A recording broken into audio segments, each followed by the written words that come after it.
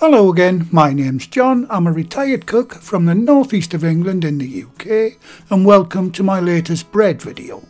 And in this one I'll show you how we make our jalapeno chili and cheese bread. And if you can't get hold of jalapenos, any chilies would do. It's a simple no knead recipe and it's delicious and very easy to make. And once you do make it, I guarantee it won't be the last time. You can view the ingredients list and full written method for this recipe on the recipe page on the channel's website. I'll leave a link in the description under the video or you can click on the eye icon top right of the screen to take you directly to the recipe page. And I'd like to thank the Patreon and PayPal supporters for their very kind help. I'll be doing the shout out and name splash a little later in the video. Okay, let's get on with today's recipe. Start by chopping your chilies into small pieces. Now I'm using jalapenos, but like I said in the intro, you can use any variety of chilies that you like, hot, medium or mild. It's all down to your personal preference. And for a bit extra heat and flavour, you can also add all of the seeds too. Right, that's done. Now I'll set that aside for now. For the cheese, I'm using a good, mature or sharp cheddar. Okay, I'll start the recipe by testing that the yeast is alive and well. First, I'll add a teaspoon of sugar to the warm water and mix until it dissolves. Then I'll add my dried yeast. I'm using instant yeast, but you can use active or fresh yeast if you wish. If you're using fresh yeast, you'll need 20 grams. And I'll set that aside for 10 minutes until it foams up. Time to mix all of the dry ingredients together. First, the flour. Now, the finely chopped chilies.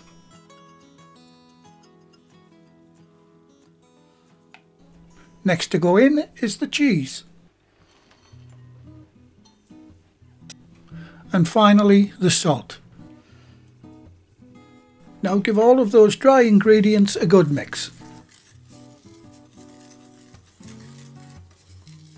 Form a well in the flour and add the active yeast mixture and as you can see mine has formed up nicely which means it's alive and very healthy. It's always best to test the yeast before you start any recipe. Now like I said at the beginning this is a no knead recipe so give it all a good mix until it all comes together into a sticky mass. I like to use my trusty wooden spoon handle for this.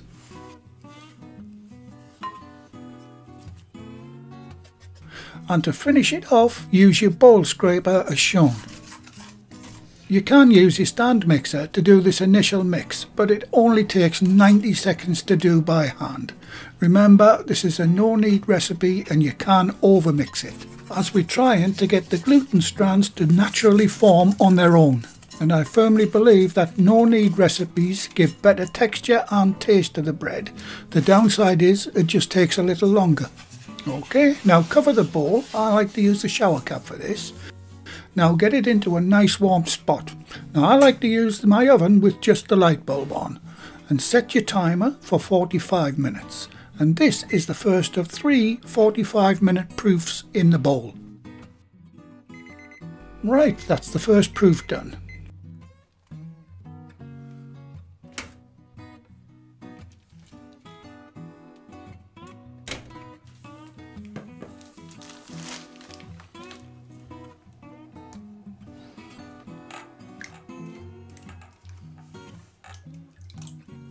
Now turn it out onto a slightly wet surface.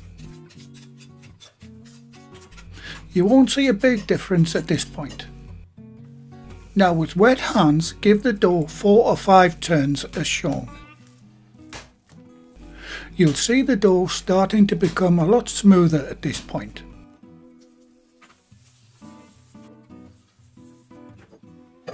Now get it back into the bowl, cover it again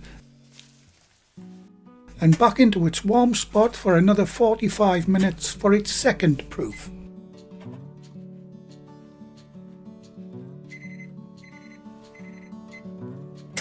Okay, that's the second proof done. As you can see, it's risen quite a bit more this time. now, simply do the whole procedure again. Turn it out onto a wet surface. Give it four or five turns, making sure your hands are wet.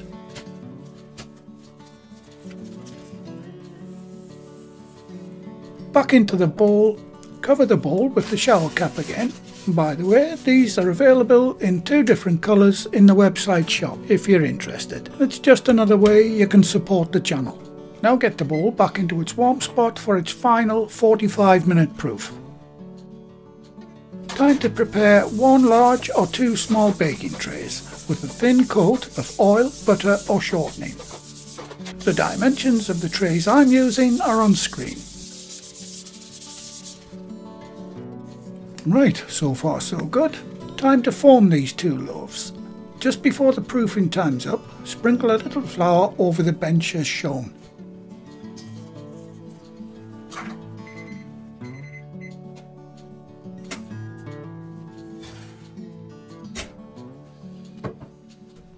Turn up the dough onto the floured surface. And as you can see, the dough's looking wonderful this time.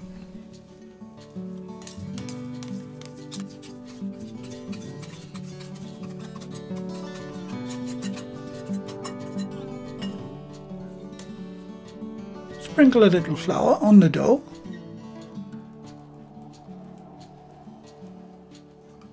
Gently give it a few folds. Now if your measurements were correct at the start, your dough should weigh approximately 930 grams or just less than 39 ounces.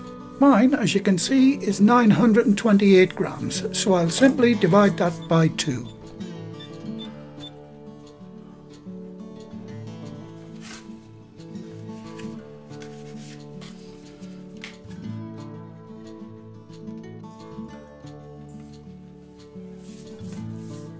Once you have your two equal dough pieces, form them into loaf shapes as shown.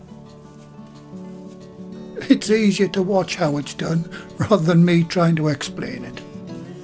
Once formed, nip the bottom seam together like I'm doing here.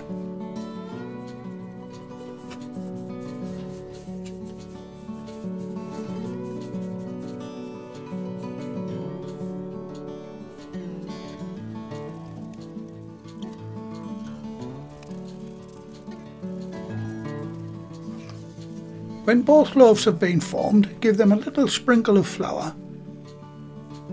Cover them with a lightweight dry cloth. Now I like to let them rest and relax for 5 minutes on the floured surface while I tidy up the worktop.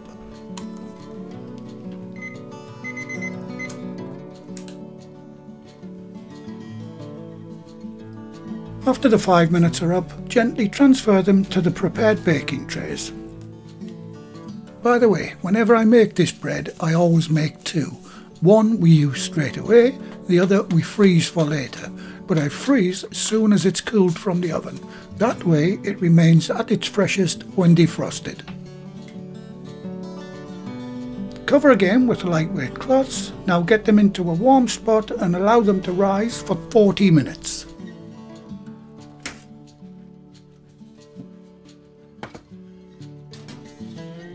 Now I'm setting my timer for 30 minutes because when I take them out the oven, the oven needs 10 minutes to heat up, which is total 40 minutes.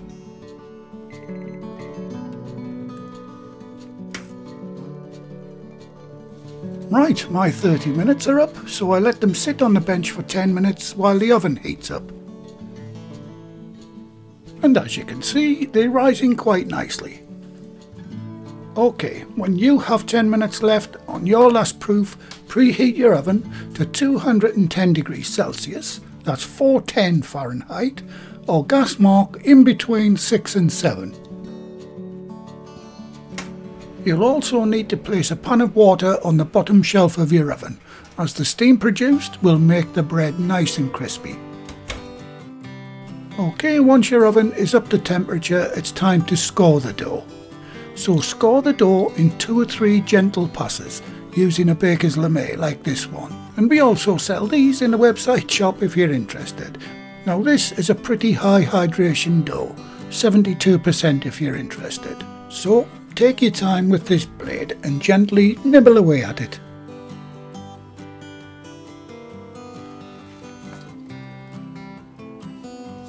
Once your two loaves have been scored, get them into the preheated oven.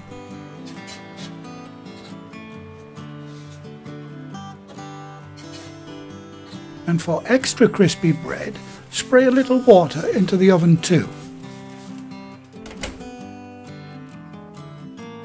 Now set your timer for 20 minutes.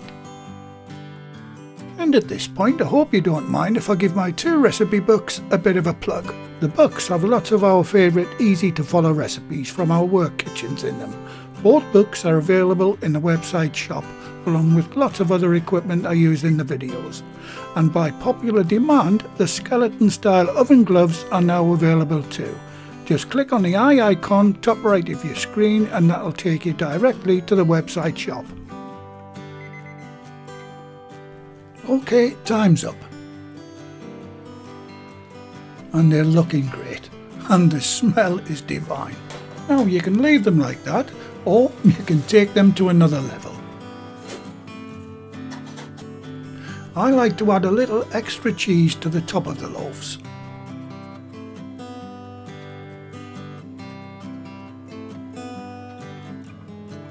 and for a little contrast in colour I add a little red cheese to the mix, in this case a little red Leicester.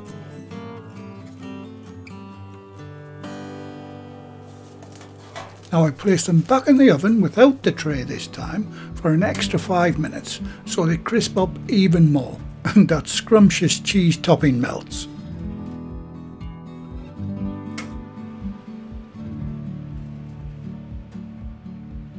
Right, like I said, I'll give those another five minutes.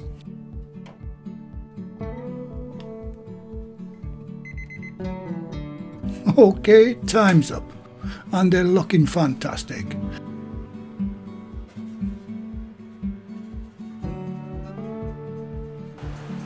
Now I'll get them on a wire rack and let them cool for 15 minutes.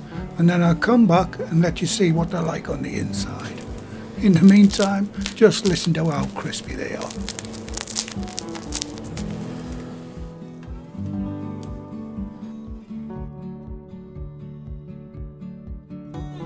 Okay, they've cooled down enough now to give them a try.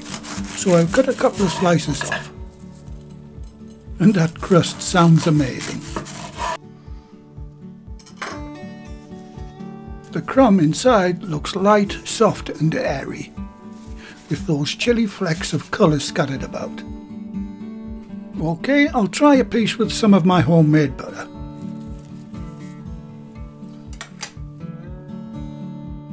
And it tastes absolutely delicious. You don't feel the heat at first, but then you get a warm, comfortable feeling from those chilies, mixed with the toasted cheese flavour.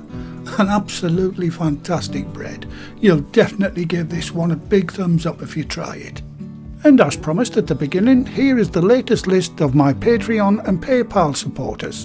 And they are Lynn Francis Clock, Mary Clark, Robert Harris, Adrian Biles, Floyd Mance, Nithya Gogte, Marilyn McNamara, Katie Smith, Pete Ely, Sandra Oss, and Carolyn Thompson. Thanks very much, guys. I really do appreciate all that you do in supporting the channel.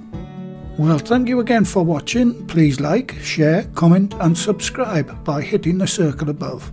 If you do subscribe, activate the bell icon next to the subscribe button on my channel page. And by doing that, you'll be automatically notified every time I upload a new video. And in the meantime, here's a few of my other videos and playlists that you may want to watch. So, until the next time, be safe in your kitchen and bye for now.